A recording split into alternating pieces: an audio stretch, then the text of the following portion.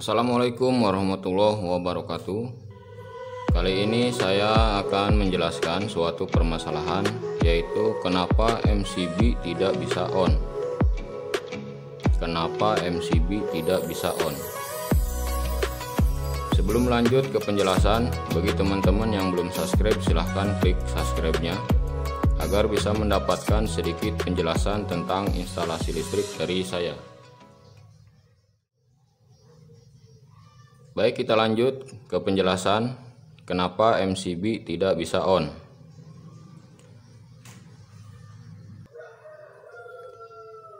Permasalahan MCB tidak bisa on dikarenakan ada dua kemungkinan. Kemungkinan yang pertama, kenapa MCB tidak bisa on, yaitu terjadinya konsleting listrik. Maka MCB tidak bisa on.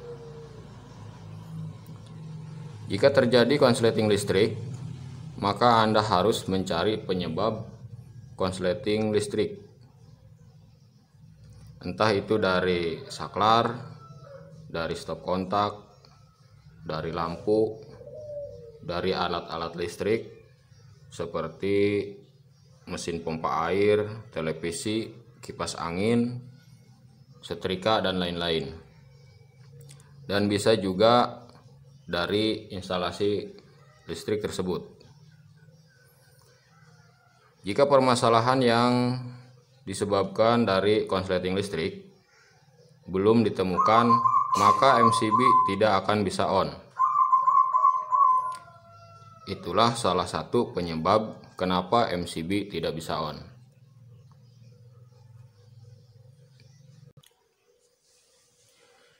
Dan kemungkinan yang kedua, kenapa MCB tidak bisa on, yaitu dikarenakan kelebihan daya.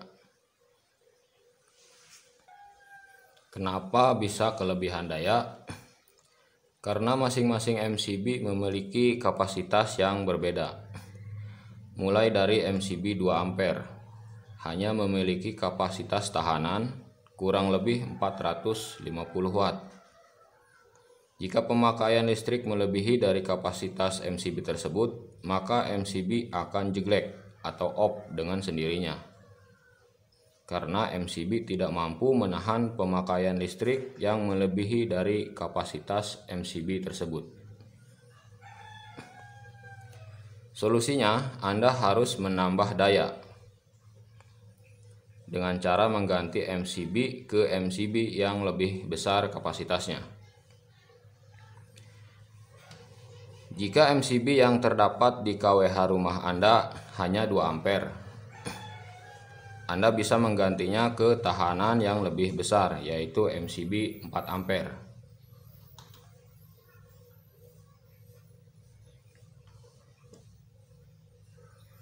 MCB 4 ampere mampu menahan tegangan kurang lebih 900 watt. Bisa juga yang 6 ampere yang mampu menahan tegangan kurang lebih 1300 watt. Bagaimana cara mengetahui ampere di MCB tersebut? Anda bisa melihat di label MCB-nya tertulis C2 atau CL2. Berarti itu MCB 2 ampere.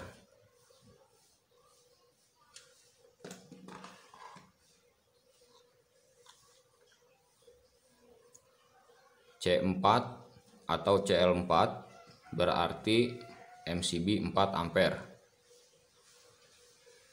Ada juga C6 atau CL6 berarti 6 ampere dan seterusnya. Seperti ini C10 ada juga yang CL10 berarti dia 10 ampere.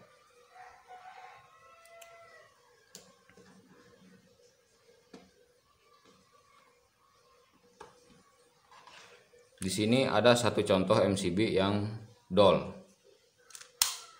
Ini sudah dol atau sudah rusak. Dia tidak mau on sama sekali dikarenakan MCB tersebut sering jeglek karena dua kemungkinan yaitu bisa karena sering terjadinya konsleting listrik juga bisa karena kelebihan daya. Maka MCB ini sering jeglek dan akhirnya dol rusak sama sekali tidak bisa digunakan lagi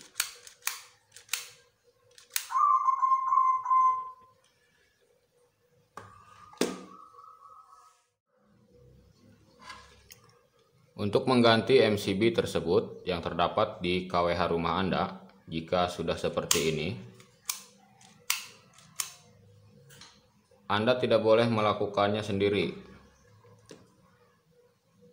hubungilah pihak PLN yang terdekat karena jika Anda melakukannya sendiri itu akan sangat berbahaya. Baik mungkin itu saja penjelasan tentang kenapa MCB tidak bisa on? Semoga bermanfaat. Kurang lebihnya saya mohon maaf jika ada salah-salah kata dalam penjelasan saya tadi. Jika dirasa penjelasan ini bermanfaat silahkan anda share ke teman-teman anda. Mungkin cukup sekian dari saya Assalamualaikum warahmatullahi wabarakatuh